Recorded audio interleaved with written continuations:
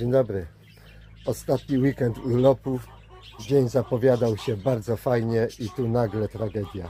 Kiedy szedłem, obmyślałem plan, co tutaj nakręcić, o czym dzisiaj opowiedzieć, to nagle, tak jak kiedyś powiedziałem, że życie stawia przed nami fajne scenariusze. No ten akurat nie, nie jest najlepszy.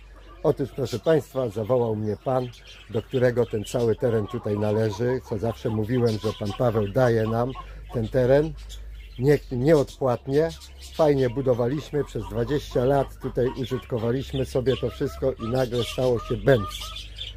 Donoszą na niego bez przerwy jakieś tam rzeczy, ciągle piszą skargi. Są też tacy i to tacy mądrzy, którzy korzystają w taki sam sposób z tego terenu jak ja.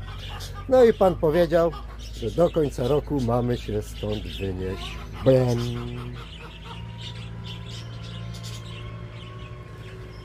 Ach. I to wszystko teraz. Cały ten piękny, dopiero co urządzony motylikącik. Wszystkie te rzeczy. Posadzone drzewa.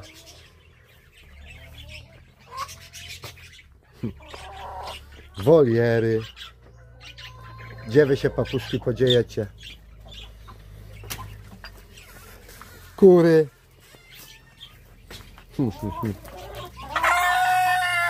Króliki.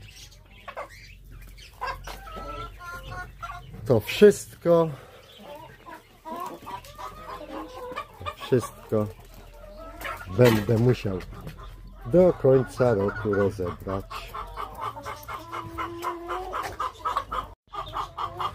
Tacy są niektórzy ludzie. Nie pan Paweł, to jest jego i mają prawo się zdenerwować. Tylko, że teraz bardzo nas wielu takich, co użytkują tą część tutaj tego pola i ogrodu, jesteśmy podszkodowani przez jednych głupich, nawiedzonych ludzi. Przeszkadzało, że ogniska sobie pali, przeszkadzało, że wywozi jakieś odpady czy, czy nawóz na pole, przeszkadzało, że chodzą maszyny. Więc doszedł pan do wniosku, że przeszkadza mu, że mamy za darmo jego teren. Ach, dobra. Nie ma co. Jakaś, mówię, płakać nas roz, rozla, rozlanym mlekiem. Tylko zakasać rękawy i opracować plan rozbiórki tego wszystkiego. Hmm. Hmm. No nic. Idę płakać, idę jednak płakać. Do zobaczenia, do usłyszenia w przyjemniejszych okolicznościach.